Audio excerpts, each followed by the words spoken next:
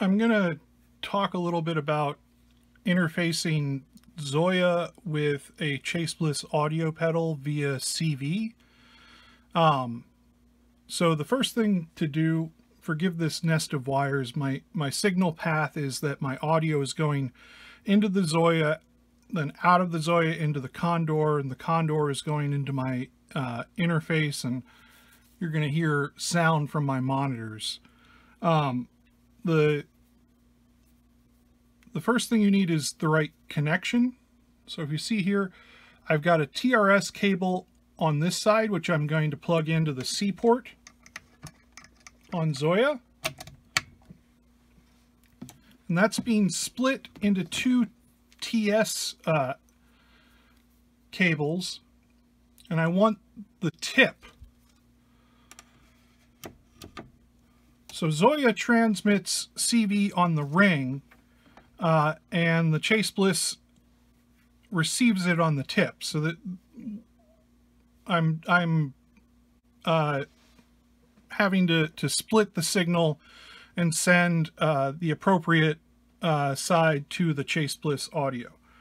So once that happens, when you plug anything into a, a CBA pedal, it automatically recognizes that it, it's going to be uh, doing expression rather than ramping parameters. Um, and so then it becomes a matter of where the dip switches are, are set up. On this patch on the, the Condor, I have everything uh, pretty much centered, except for the volume, which I've turned up to, to make it louder for demonstration purposes. And I have the, the low pass filter uh, resonance set to its highest position. I'm going to just deal with the low pass filter um, because it has the most marked responses, uh, but you can modulate all sorts of things in, in a CBA pedal, as I'm sure you're aware. Um, at that point, it becomes a matter of how the dip switches are set, either on the back panel if you're in live mode or, or how they're set when you save a preset. So I have the low pass filter turned on, and then these become the ways in which uh, the CBA pedal determines what happens when it receives CV. So really quickly, uh, the sweep determines whether the reference point is the top or bottom of the dial, uh, the highest or lowest point on the dial. Uh, and the, the rise and fall have to do with the polarity of the expression or CV that, that it receives at that point. Um, so really quickly, I've got an envelope follower uh, going into a slew limiter just to give it a little bit more character, um, a little bit more of a classic envelope filter sound uh, that, that I'm going into my C-port module. And when you place the C-port module, you just want it 0 to 1. Uh, CBA pedals won't register negative values. So the way I have it set up now is that it's uh, sweeping from the, the bottom and rising uh, toward my knob position. So the filter should open as I play. If I reverse this, what's going to happen is that the the uh, CV will sweep from the knob position toward the bottom and the filter will close as I play. If I change the sweep, when it's set to top and and fall, what's going to happen is it's going to fall from fully open from the the the uh, highest knob position toward where I've set the knob on the front panel.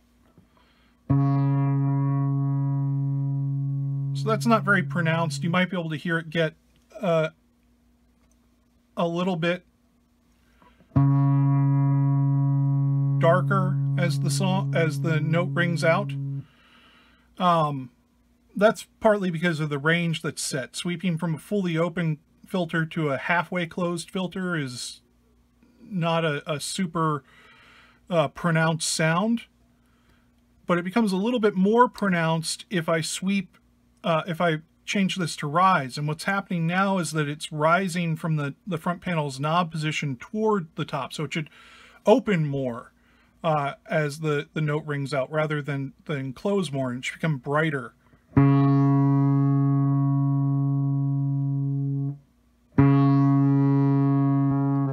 You can hear the resonance sort of rise.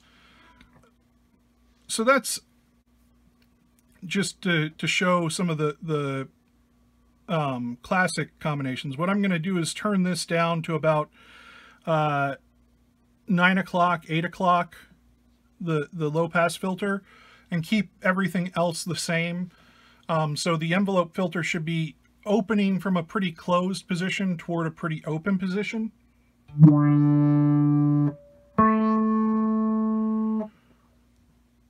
And you can use other modulation sources as well. So this is a sine wave. Um, a sine wave will sweep through this this whole range that's set uh, by the, the dip switches because um, it doesn't depend on dynamics or anything like that. It, it's going to go from 0 to 1 to 0 to 1 to 0 to 1. And so this will set the entire range. If you wanted to attenuate that, um, you could you could adjust the, the connection strength to the C port.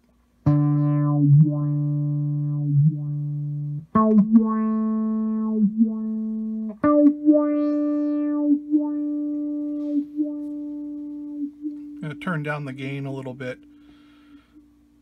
because the resonance is causing my speaker to protest.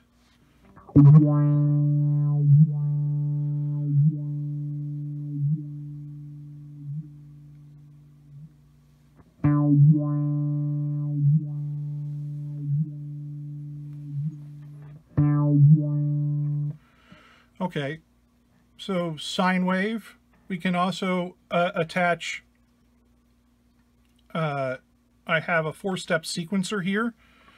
So it's going to sound like, you know, different steps going back and forth. But the interesting thing about ZOIA, obviously, is that we can combine all of these. So what I'm going to do now is set up the uh, sequencer to control the depth of a sine wave whose speed is being modulated by the envelope follower, which is a pretty cool sound. So we connect the output of our slew limiter to the input of the LFO to adjust the rate as we play. I already set up a multiplier uh, to control our depth and the output of the sequencer is going into one side of that. The other side will be our LFO. So our LFO's depth will be changed in accordance with the sequencer and its rate will be changed in accordance with uh, our envelope follower, which leads to some pretty cool modulation.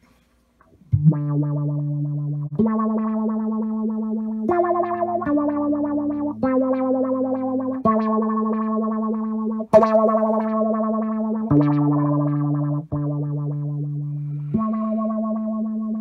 the harder we play,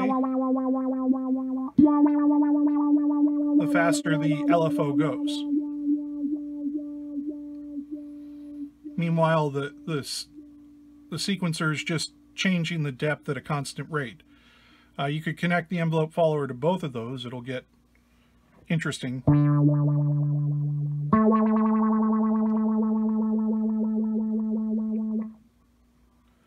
Um, but that's just the tip of the iceberg, so to speak. Uh, obviously, there's there's a lot you can do with CV modules in ZOIA.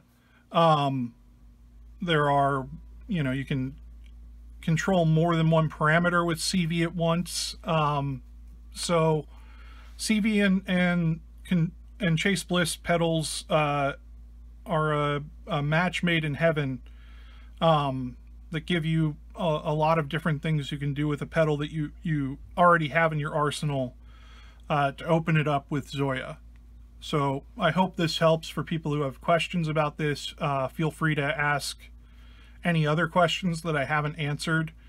Um, if you forget which order the dip switches go in, I do too. Mostly my rule of thumb there is flick them around until it sounds right.